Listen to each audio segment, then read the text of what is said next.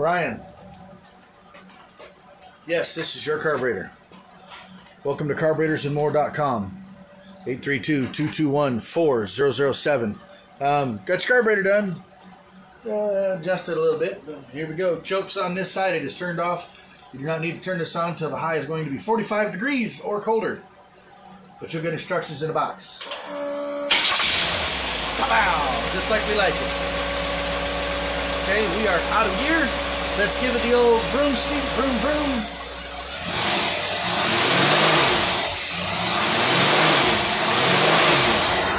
Okay, now we're going to turn the uh, dyno on.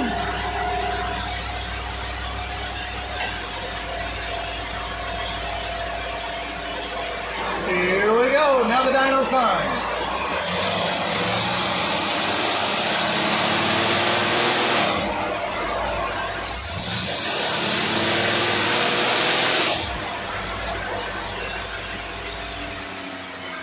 Brian T, thank you, man. We sure do appreciate your business.